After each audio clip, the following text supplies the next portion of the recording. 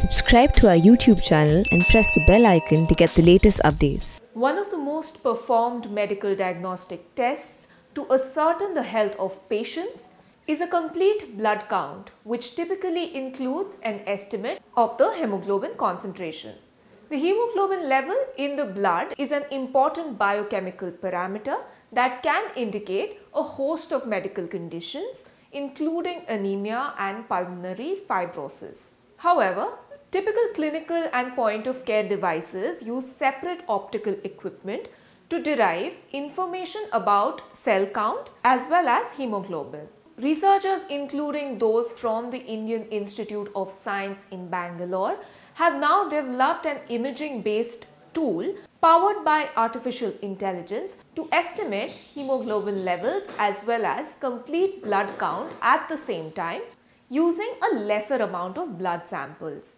Usually to assess multiple parameters in a blood sample, medical equipment has dedicated subcompartments with separate optical detection systems. As a result, not only do the tests require higher amounts of blood samples, but also need costlier equipment.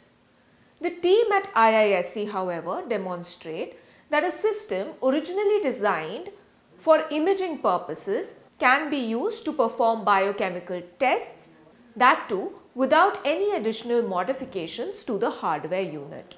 There are several aspects to the new test. The first is the microfluidic chip, a device that has a network of microchannels which allow tiny amounts of fluids to pass through. Microfluidic chips allow integrating several functions that generally require an entire laboratory in a single micro-sized device. The team also created a customized biochemical reagent that reacts with the hemoglobin and forms a new molecule called a complex which can then be imaged and hence counted by the AI powered microscope. Every time the microscope sees this complex formed in the microfluidic chip, an inbuilt green LED turns on allowing the system to effectively count hemoglobin.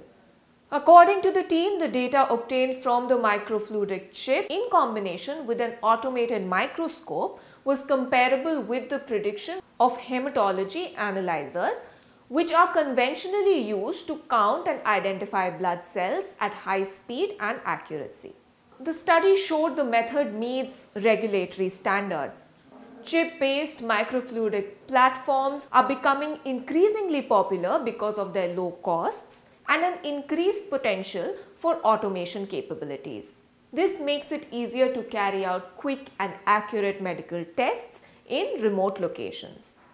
The researchers say that their study will also serve as a guide to translate other conventional biochemical assays onto a chip. So, besides measuring hemoglobin in the blood, a similar setup with just minor modifications could also be used to measure parameters like protein content and cholesterol as well.